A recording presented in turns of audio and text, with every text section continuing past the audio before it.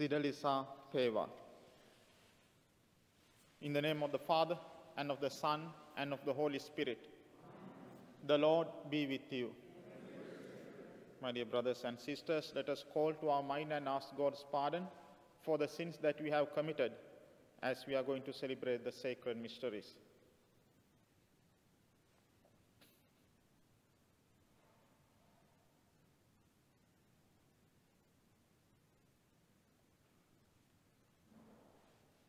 You were sent to heal the contrite of heart. Lord, have mercy. You came to call sinners. Christ, have mercy. You are seated at the right hand of the Father to intercede for us. Lord, have mercy. May Almighty God have mercy on us, forgive us our sins, and bring us to everlasting life. Let us pray. Almighty ever living God, increase our faith, hope, and charity, and make us love what you command, so that we may merit what you promise. Through our Lord Jesus Christ, your Son, who lives and reigns with you in the unity of the Holy Spirit, one God, forever and ever.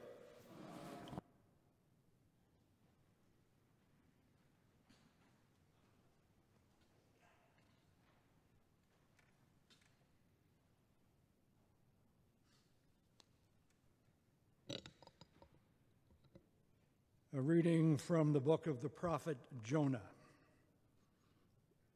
After Nineveh was spared, Jonah was displeased and he became angry.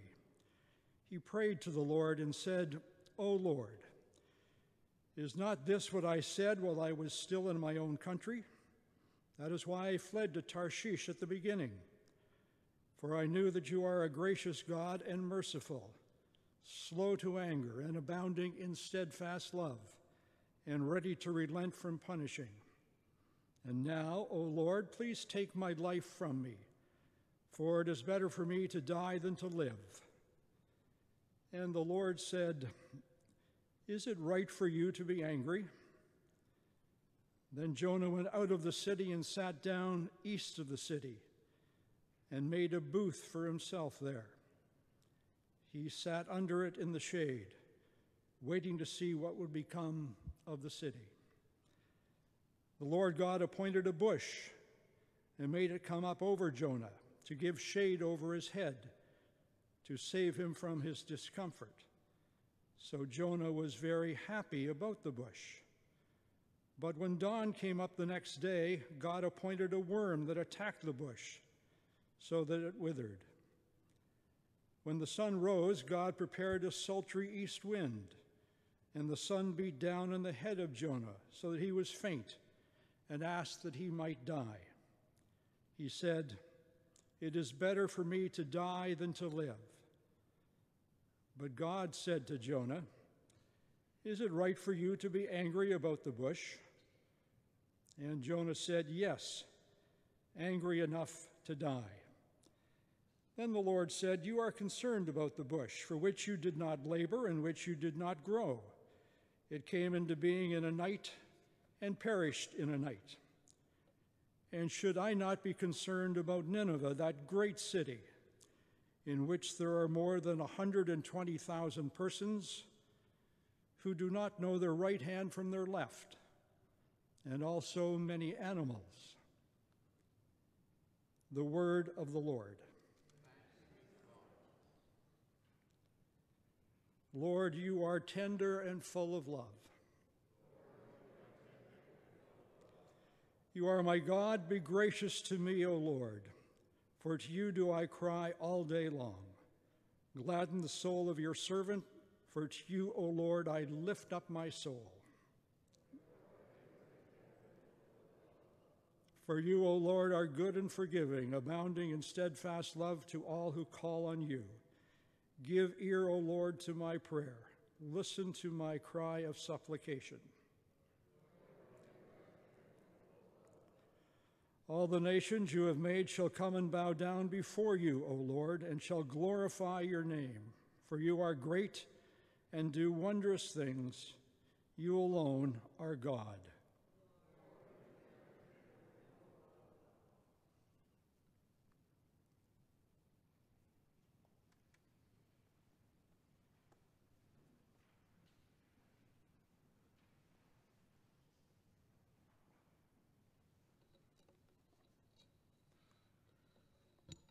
The Lord be with you.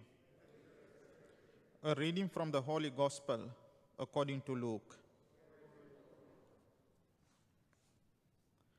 Jesus was praying in a certain place, and after he had finished, one of his disciples said to him, Lord, teach us to pray, as John taught his disciples.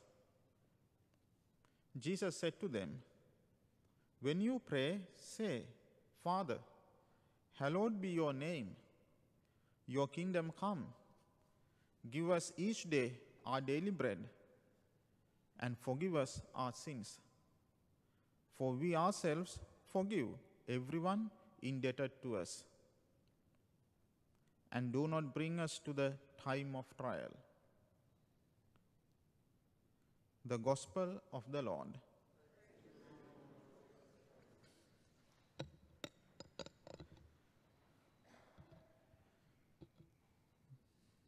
What do you include when you pray in your prayers? The most significant things. We need to learn from our Lord Himself. This is what we should do when we pray. First, we need to pray, praise and thank God. Why do we praise and thank God? So, all the blessings we have received from His hands. If you reflect on your life, our life itself is more than enough to see the beauty of His creation, you know, and our parents, siblings, brothers, sisters, and so many things. We have received blessings after blessings. So we need to first praise and thank God. Second, we need to pray to the Lord uh, for His kingdom, for coming of His kingdom. We are waiting for the second coming of the Lord and make sure you will be in that kingdom one day, not out of that kingdom somewhere else. So, if we want to inherit that kingdom, we have to uh, experience or anticipate kingdom values now itself within our lives, in our families, at our working places, and in our communities. Kingdom values.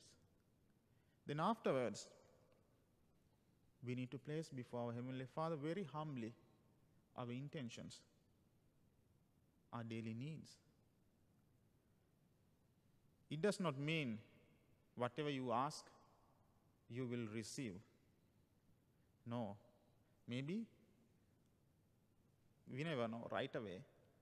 After some days, after some months, even years or decades. At the same time, our Lord invites us to persist in our prayers. We need to continue our prayers, never give up. Don't be discouraged and disappointed. So sometimes we are selfish because our God, our Heavenly Father, He knows not what we need, no essentials, but what is indispensable to save your soul. He doesn't give each and everything you asked.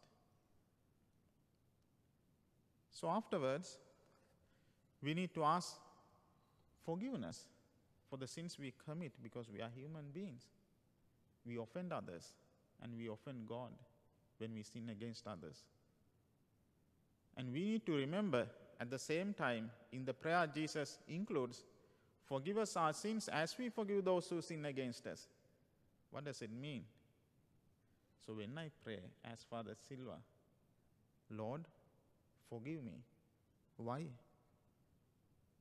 Because I have already forgiven your children who sin against me. Suppose if I have not forgiven, still I have uh, hurt feelings and bad attitudes towards them, and I curse on them or any evil thoughts because they have hurt me, they are sinning against me. So can we can I say this prayer? Yes, still I can say, but I have to skip that part of the prayer. So we need to forgive others.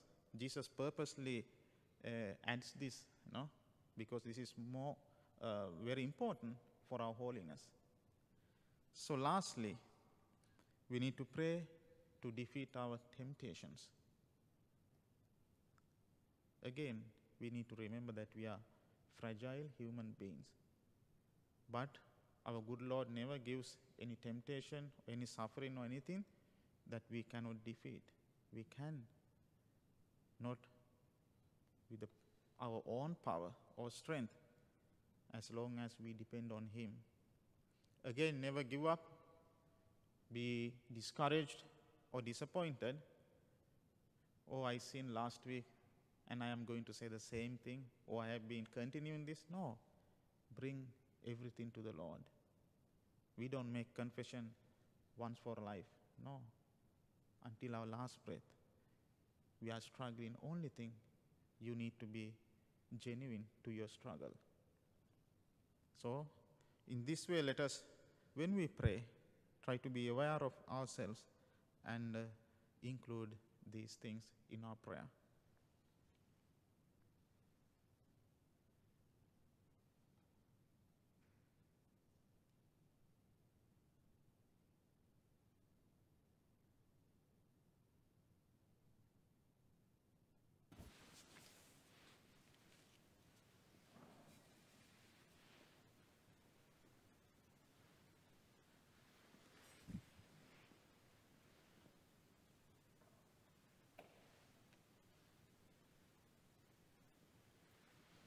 Blessed are you, Lord God of all creation, for through your goodness we have received the bread we offer you, fruit of the earth and work of human hands. It will become for us the bread of life. By the mystery of this water and wine, may we come to share in his divinity. Who humble himself to share in our humanity.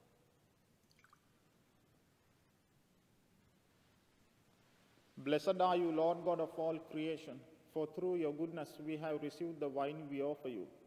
Fruit of the vine and work of human hands, it will become our spiritual drink.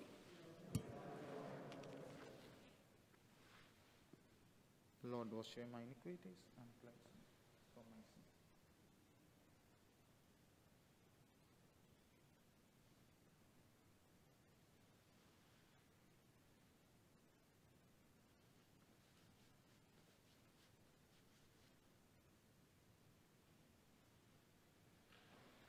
Pray, my sisters and brothers, that our sacrifice may be acceptable to God, the Almighty Father.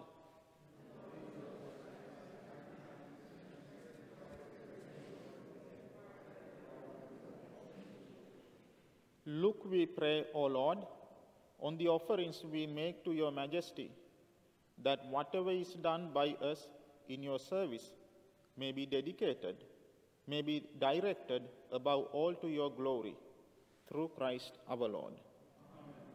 The Lord be with you. Lift up your hearts. Let us give thanks to the Lord our God. It is truly right and just, our duty and our salvation, always and everywhere to give you thanks, Lord, Holy Father, Almighty and eternal God, through Christ our Lord. In him you have been pleased to renew all things, giving us all a share in his fullness. For though he was in the form of God, he emptied himself, and by the blood of his cross brought peace to all creation.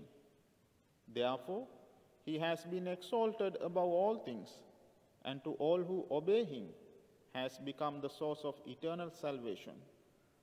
And so, with angels and archangels, with thrones and dominions, and with all the hosts and powers of heaven, we sing the hymn of your glory, as without end we acclaim. Holy, holy,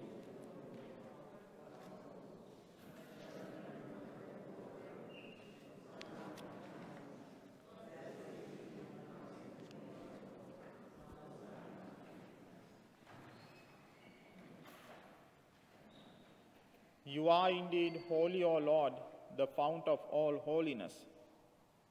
Make holy, therefore, these gifts, we pray, by sending down your Spirit upon them like the dewfall, so that they may become for us the body and blood of our Lord Jesus Christ. At the time he was betrayed and entered willingly into his passion, he took bread and giving thanks, broke it and gave it to his disciples, saying, Take this, all of you, and eat of it. For this is my body, which will be given up for you.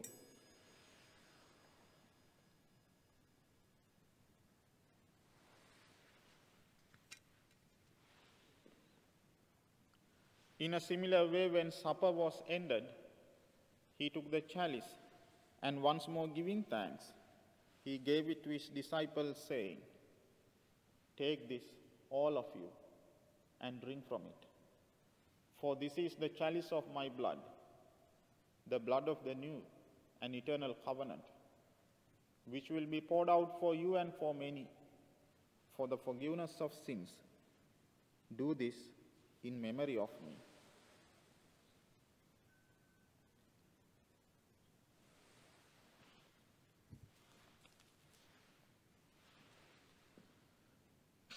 The mystery of faith. We proclaim your death, O Lord.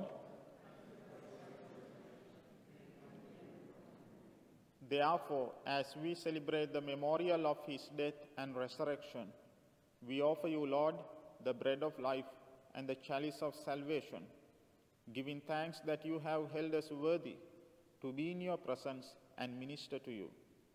Humbly we pray that partaking of the body and blood of Christ, we may be gathered into one by the Holy Spirit. Remember, Lord, your church spread throughout the world. Make us grow in love together with Francis our Pope and Thomas our Bishop and all the clergy. Remember also our brothers and sisters who have fallen asleep in the hope of the resurrection, and all who have died in your mercy. Welcome them into, into the light of your face. Have mercy on us all, we pray, that with the Blessed Virgin Mary, Mother of God, with Blessed Joseph, her spouse, with the blessed apostles, and all the saints who have pleased you throughout the ages, we may merit to be co-heirs to eternal life, and may praise and glorify you through your Son, Jesus Christ. Through him, and with him, and in him, O God Almighty Father, in the unity of the Holy Spirit, all glory and honor is yours forever and ever.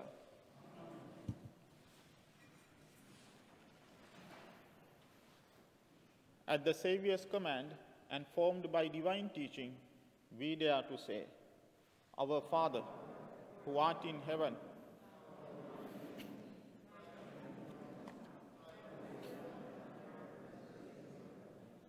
us this day our daily bread, and forgive us our trespasses, as we forgive those who trespass against us.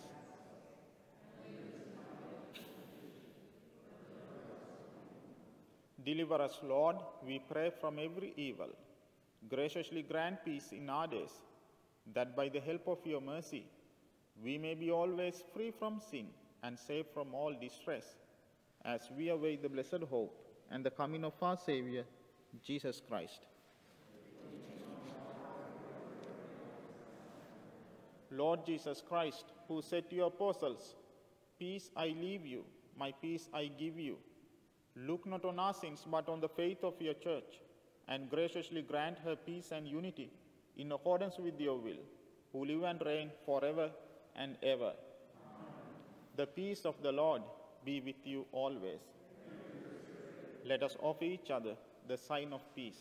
Peace be with you.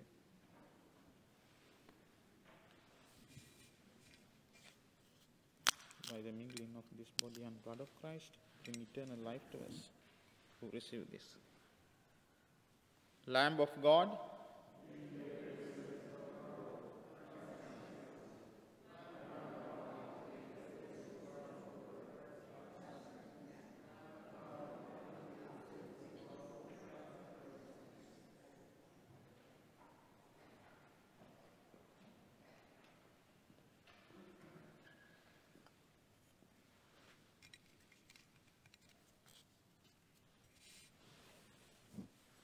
Behold the Lamb of God. Behold him who takes away the sins of the world. Blessed are those called to the supper of the Lamb.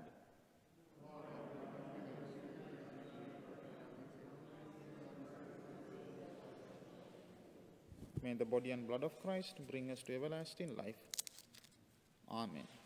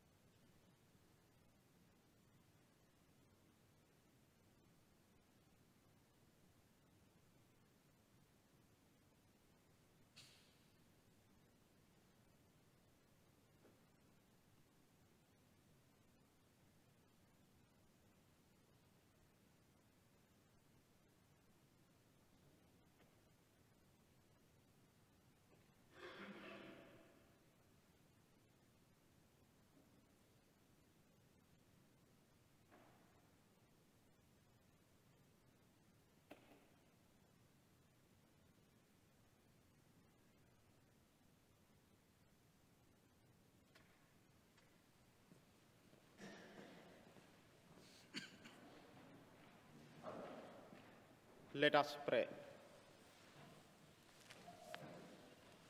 May your sacraments, O Lord, we pray, perfect in us what lies within them, that what we now celebrate in signs, we may one day possess in truth, through Christ our Lord. The Lord be with you. May Almighty God bless you, the Father, the Son, and the Holy Spirit. Go in peace. Thanks be to.